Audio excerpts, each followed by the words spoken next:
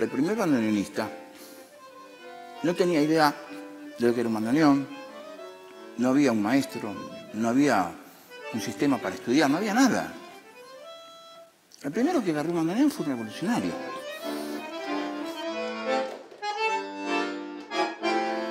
Vos querés saber cuál es el mejor bandoneonista, bueno, no tenés que juntar las cabezas Mafia, Pichuco, a Laurens, a, a Leopoldo, a Piazzolla, qué sé yo.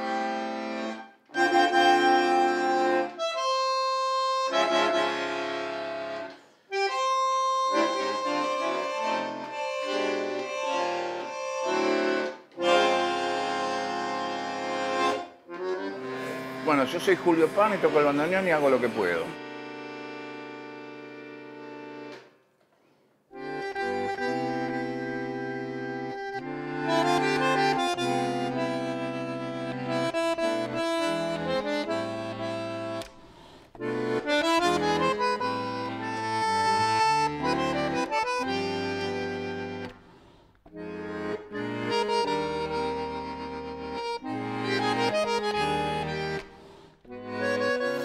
Que el bandoneón, abriendo y cerrando, son distintos sonidos. Tenemos cuatro teclados, se ven dos, pero cerrando suena otra cosa. El conocimiento que tenía mi viejo era tremendamente conocedor del instrumento. Él tenía una base muy, muy, muy sólida y no estudió en vano con mafia. Pero aparte era músico, era músico.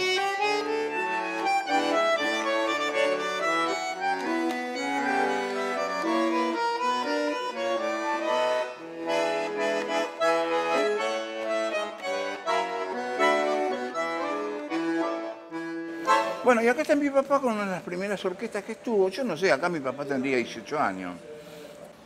Esta es la típica Pugliese, esto es en Mar del Plata. Este es mi papá, la orquesta Pugliese, mi tío, y este es Alberto Pugliese. Creo que es Radio Argentina, creo, no estoy muy seguro. Acá está mi tío, este es Alberto Podestá, y este Amadeo Mandarino la foto de mi tío, su gran sonrisa conquistadora. Mi tío era como una cosa sagrada, intocable. Es el único bandoneonista que hasta el día de hoy sigo soñando con él, con mi tío Vicente. Este, no sé por qué, no sé, eh, se fue muy joven, se murió a los 42 años, era un pibe. Y me quedó esa cosa de que yo podría haber tenido con él una amistad, si hubiesen pasado los años, muy grande, de sobrino y de bandoneonista, ¿no?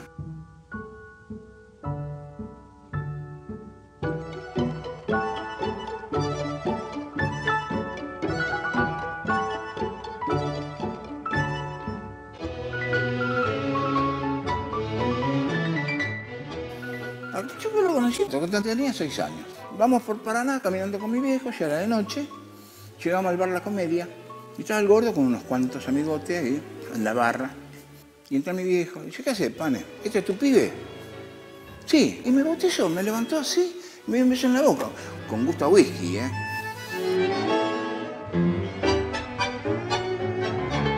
El bandoneón era un instrumento que estaba en mi casa. Yo siempre dije que yo tuve la universidad en una pieza de conventillo. Era, estaba ahí, estaba mi viejo, tocaba todos los días.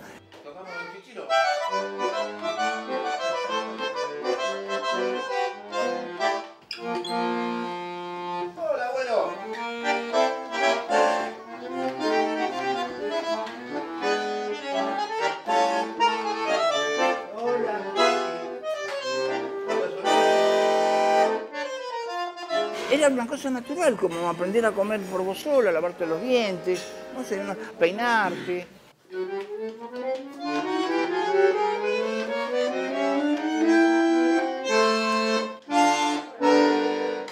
Mi papá no me quería enseñar a tocar el bandoneón y yo miraba lo que tocaba mi viejo, miraba y quería entender, que era chiquito, tenía 6, 7 años, quería entender lo que estaba escrito ahí, ¿viste? Hasta que un día, bueno, me puse firme, tenía 8 años, agarré el bandoneón de mi papá, o me enseñaba, me enseñaba. Bueno, venga para acá, vamos a buscar otro bandoneón. Mi viejo de piola que era, diciendo porque el nene no tiene bandoneón, mentira, había tres bandoneones en casa. Está estudiando, es chiquita, y yo no- la verdad no tengo mucha plata.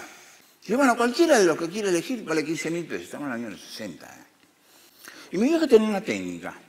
Tenía un par de zapatos con agujero en, las suelas, se llamaba la ropa más gastada que tenía. Dice, no ve que no tengo ni para calzar, me los zapatos. Le rebajó tres mil pesos. Dice, bueno, págueme. Le paga. ¿Y cuándo nos vamos? Yo veo que Marguerite sale y vuelve con un paquete. Se lo da. Dice, tome, hombre, tenga con qué calzarse. Había comprado un par de zapatos.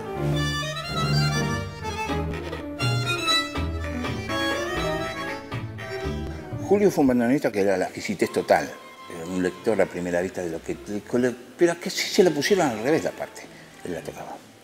Tomá, a ver, lee esto. Lee, lee, lee, lee, tomá, esto, esto, esto. A y él estaba en la cocina haciendo los churrascos y, me escuchaba a ver cómo leía yo. Y esas son cosas que no, no, no aprendes en un conservatorio. Aparte, no solamente no me cobró, al año estaba en la orquesta de él. Y a los dos años me, me metí en la estable de Rey del Mundo. ¿Qué se puede decir de Julio Madre?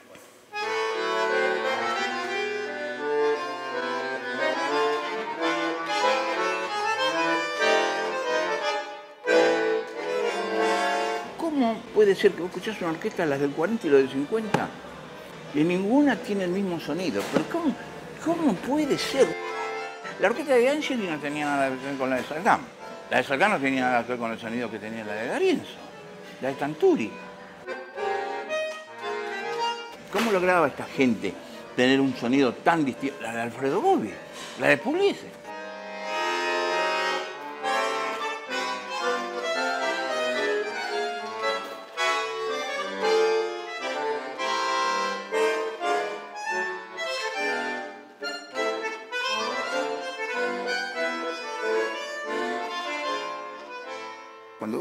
Orquesta de Aníbal Troilo, ¿sabes que la orquesta de Aníbal Troilo? ¿Por qué se da eso?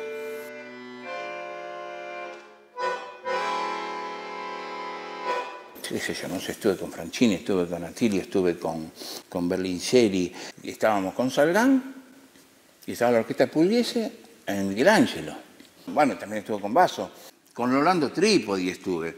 Del primer año en la orquesta de Buenos Aires, y bueno, qué sé yo. Era lo que yo quería hacer. Yo quería ser este bandoneonista de todas las orquestas, inclusive si iba a estar con De Angelis.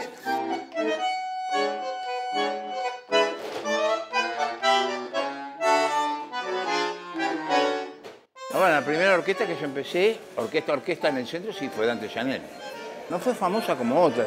Echaba por la orquesta Dante, pero eh, ya te digo, en los años 60. Empezaron a desaparecer los, los, este, qué sé yo, los bailes, hasta que, bueno, Hubo gente que se le ocurrió inventar el viejo almacén, que fue el primer boliche de, tango. En la vida tenemos mil cosas que son grandes, sublimes o hermosas. Y un día llega el Mundo Rivero, que era uno de los dueños, y había una cola interminable de gente. Y, pero dice, toda esta gente que ya no son todos turistas.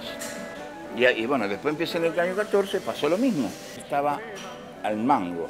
Estaba, claro, por supuesto, estuvo en esa época Aníbal Troilo, que cuando aparecía él era Perón en la Plaza de Mayo, ¿viste? Era impresionante.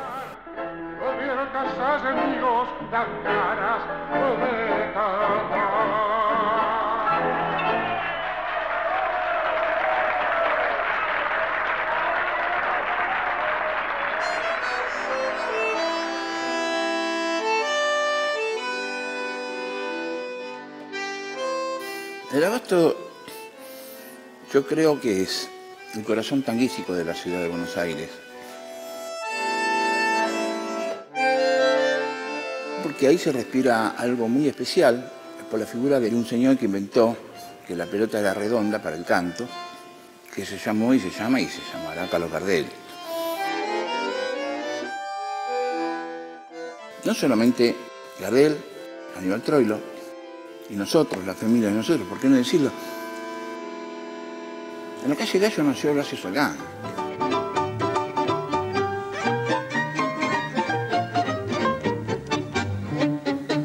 Eh, Salgán eh, para mí fue, y sigue siendo y será siempre, como algo intocable. Es como que inventó algo que sorprendió en todo. Y vos fijate una cosa, después del 50, no hay un solo pianista que no están influenciados por el maestro Salgán. Yo lo esperaba estar cinco años con la orquesta grande de Salgán. y ser el primer bandoneón. Cuando terminamos en el caño, no había posibilidad de llevar una orquesta tan grande a los otros lugares. Entonces este, quedó un setimina.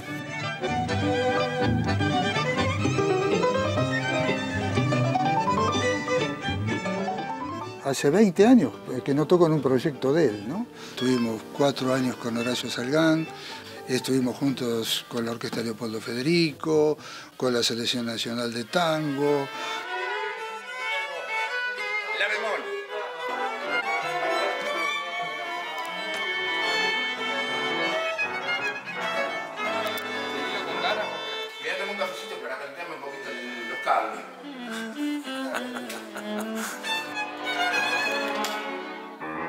Bueno, estamos acá en Ion, eh, estamos grabando el primer disco de la orquesta de papá.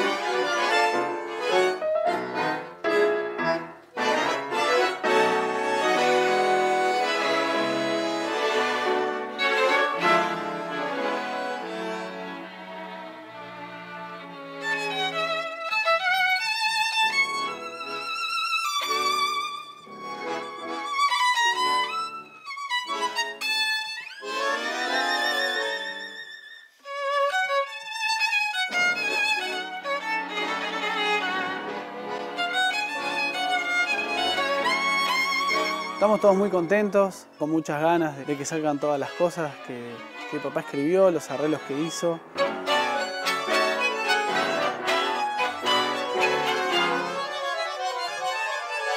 Mi papá eh, cuando, cuando toca cada nota que toca la siente. Si tiene que tocar 20, toca 20, y si tiene que tocar una, toca una.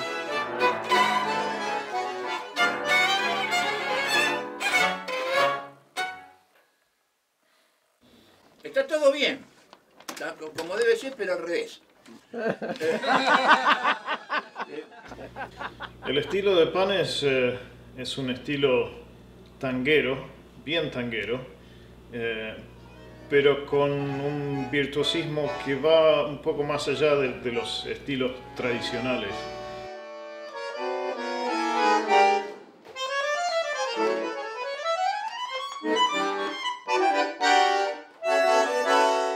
Pane una conexión entre lo tradicional y, y lo, y lo que viene.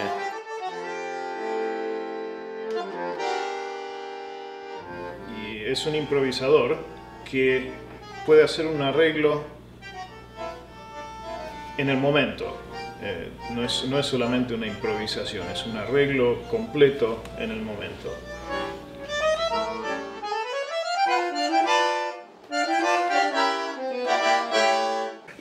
Ya en los tiempos de Bach se usaba la improvisación. No la había sido tan larga, pero al principio los bandoneonistas tocaban cosas a capela, como los bandoneonistas De Caro, pero todavía no, no, no había este, muchos arreglos para solistas de bandoneón. Como después fue con Mori, con Ahumada, con Leopoldo Federico, bueno, no me quiero olvidar a ninguno. Bueno, pero ¿qué pasa? El, el- el músico cuando compone, ya en el momento en que vos estás escribiendo, estás improvisando porque está sobre la nada. No hay nada, no hay nada. Tenés el pentagrama, los pentagramas los tenés en blanco. No es como el fotógrafo que ya tiene la cosa y la fotografía o un pintor. Con esto no quiero decir que sea más arte una cosa que la otra, guarda. Son cosas distintas, porque hay músicos como Beethoven que tenía que tachar, tachar, tachar, y después escribía, y Mozart escribía de una, como hacía Piazzolla en el tango, pero eso no quiere decir que uno sea más que otro. Lo, importante es la obra terminada, el resultado.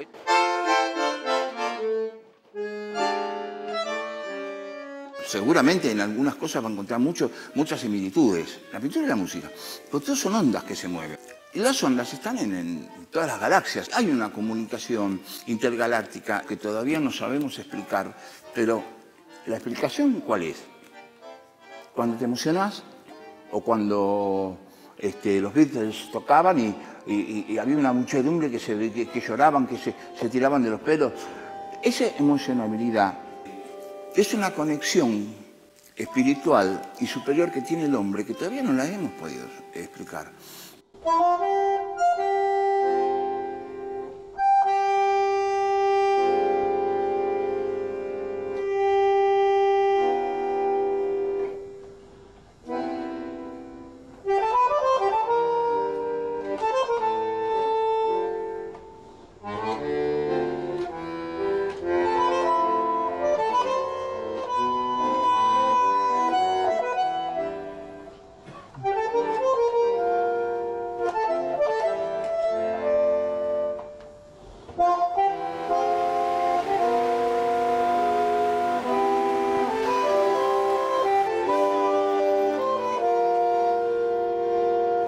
La comida del Miramar y el antiguo dueño un día me dice, vos tenés que venir a tocar acá. Esto hace ya muchos años. ¿eh? El primer día, en un pedazo de cartón, puse, hoy Julio Pane, allá, en aquel rincón.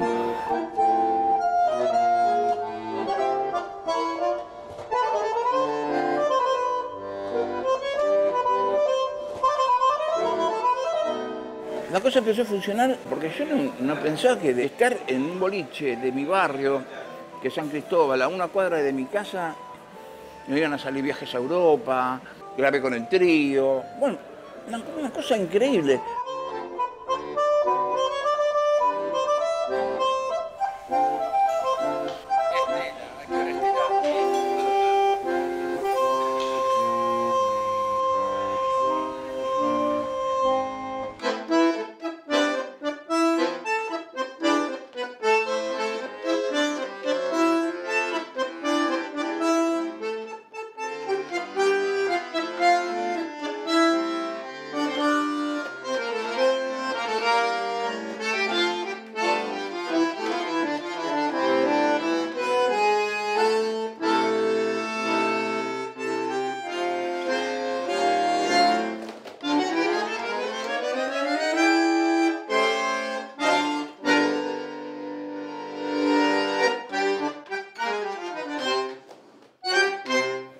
Estaba los sábados a la noche en Gandhi, en una librería con bar, ahí no se comía ni nada por el estilo, y era gente mucho más joven de la que venía acá.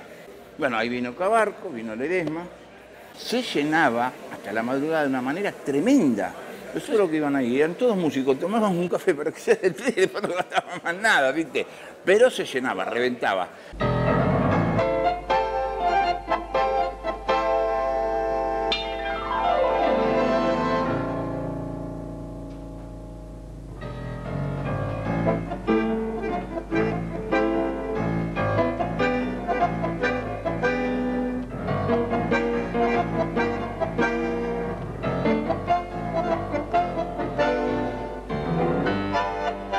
83, en el 83 entré en la orquesta, sí. Y en ese tiempo Garelo me llevaba con el auto, me acercaba a casa y siempre me hablaba de París, de Francia, las ganas que él tenía de, estar allá. Y mirá cómo son las cosas. Un día, en una radio de París pasamos un arreglo de Garelo y el director de la, de la orquesta de Toulouse lo escucha. Bueno, el tipo mandó a buscarlos urgentemente. Se inauguraba el Airbus 340.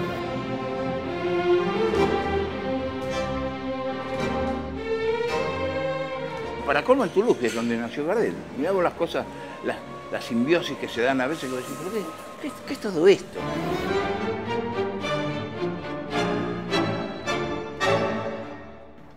Mais quand, quand vous chantez encore, chantez encore. Arrête. Je prends le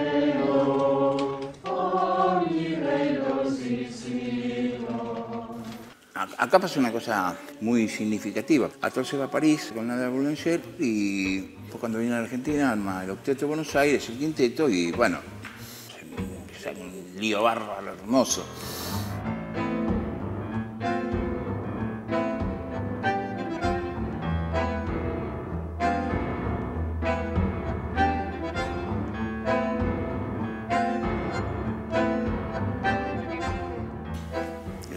Pasa? Toda la generación del 60 a la que yo pertenezco, veníamos con esa data. Y los bandoneonistas, por supuesto, teníamos el chip de Astor, pero yo tenía una información quizá distinta a otros muchachos.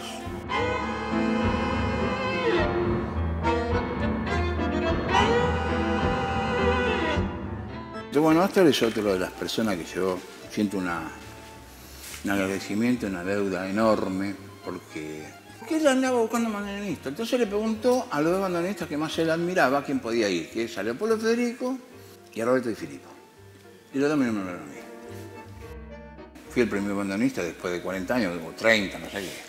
Todo con él. Le hacía de todo. Y un día se compró una mano ensangrentada. Y viene y me pone una mano ensangrentada acá. Me dice, ¿no te das asco? No, no.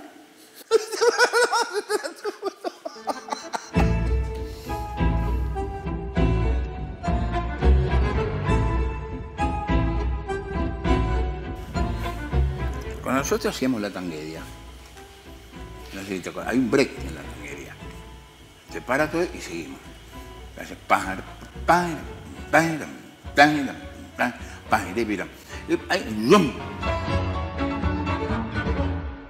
Y ahí, me miraron y decían, ¡Seanca!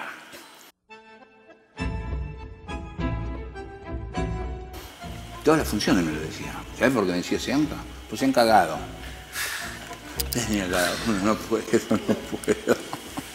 Entonces, en los programas de Estados Unidos, en todos los teatros, decía que yo era el maestro del profesor de la Universidad de Seanca. Un día, no me acuerdo en qué ciudad estábamos, no sé si era Chicago, ¿dónde estábamos? De iluminación, periodista de toda, porque él, le pregunta a un periodista, ¿qué actividad desempeñaba yo en la Universidad de Seanca? Y tenía todas las cámaras delante. Yo le hubiera querido grabar la cara de Astor. Pero enseguida empezó a chamullar, ¿viste? Y es argentino, ¿viste? Cualquier verdura, dice.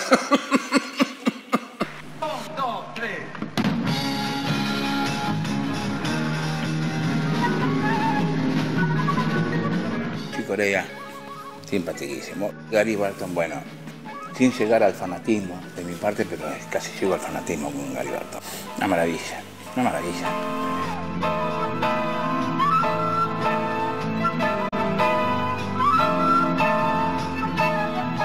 Irán y López, que estábamos en el baño del ópera y me decía, oye chico, ¿cómo tocas tú?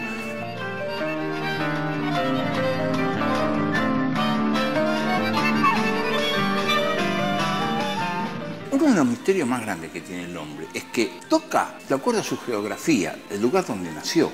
Vos no le podés ganar a un chamamé a toca chamamé.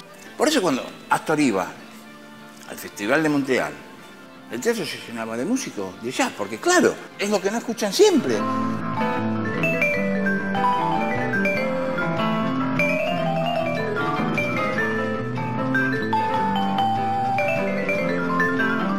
Algunos dicen, no, como el tango lo escuchás todos los días, vos te parece que el tango es menor que otros géneros. Y no es así. Valoremos lo nuestro porque no sé si hay otro país en el mundo que te tenga tantos estilos diversos, tan hermosos y tan desarrollados como los que tenemos nosotros.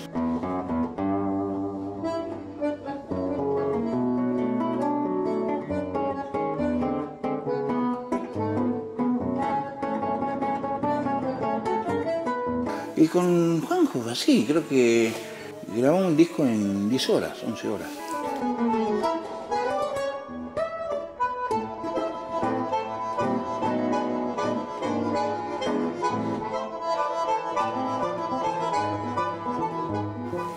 Impresionante, un guitarrista fuera de serie.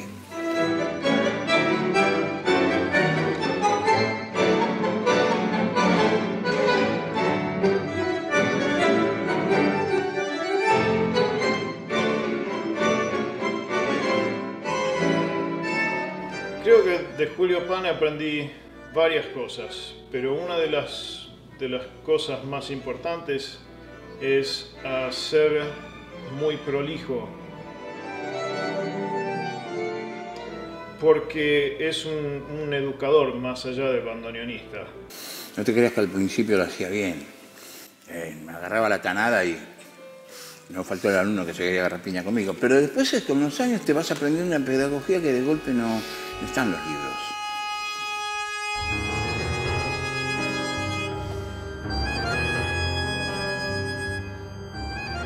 En esa época yo estudiaba con otro maestro bandoneón, gran bandoneonista, pero de otra generación. Y es estudiar al ser humano, qué es lo que necesita, estar al lado de él. Y Pane me dijo, mira, eh, así no va, como venía tocando. ¿Querés descansar un poquito? Vamos a tomar un café. Ahora volvemos. Me acuerdo, me, era chiquito, yo me puse a llorar, todo, fue, fue, fue, fue fuerte ese momento. Yo con todos mis alumnos fui así. Pero yo se lo agradezco siempre de corazón a Pane, porque a partir de ahí tenía razón.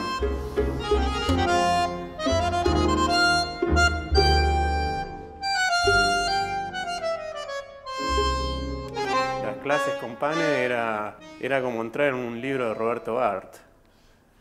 Cuando vos estás enseñando, entras en un terreno casi místico. Para mí, em- estudiar con Pane fue, eh, fue no solamente el bandoneón, sino fue, fue el arte y fue el tango.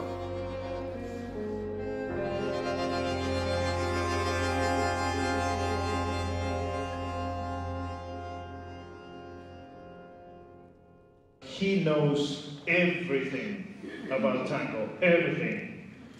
So this is uh, my teacher, my maestro, and uh, the maestro of all of us, Julio Oscar Pane.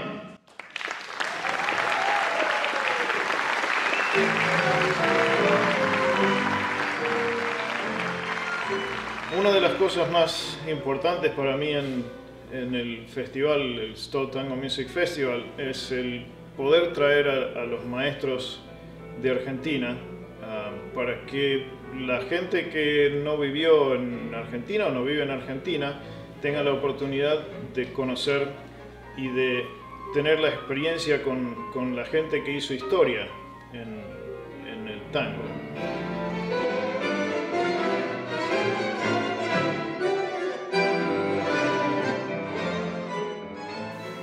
El estudiantado que hay ahí realmente es maravilloso. Algunos de Japón, otros de Finlandia, otros de, Europa.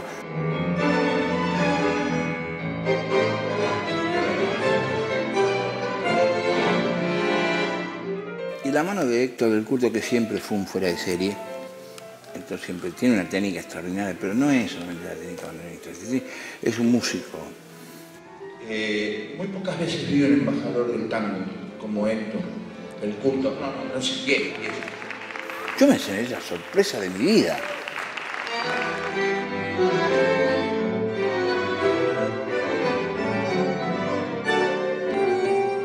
Aparte del lugar, ni te cuento lo que es eso.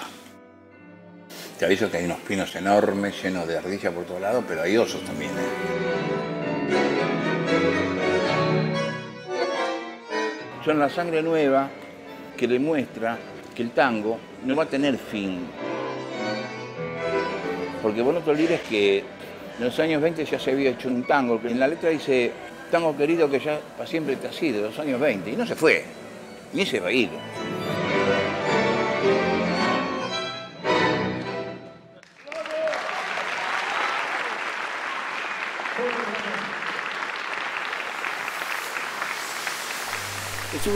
Horacio Ferrer cuando dijo que Pichuco que era una raza de uno solo. Se lo juro que se los digo de todo corazón y con toda mi alma. El gordo Pichuco tiene que ser canonizado. Y nada más. Si voy a tratar de hacer lo posible, voy a tocar el tango responso y me voy. Que tengan buenas noches.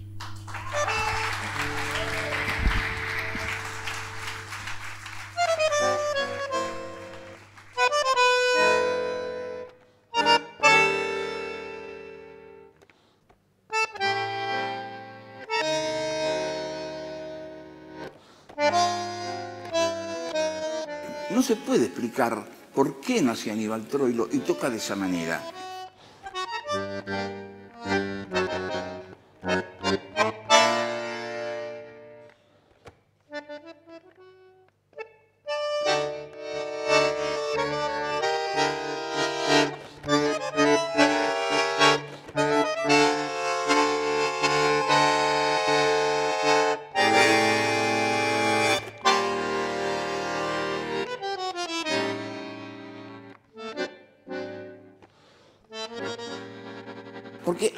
Que dice, si pintas tu aldea vas a pintar el mundo. Y eso es lo que hizo Aníbal Troilo.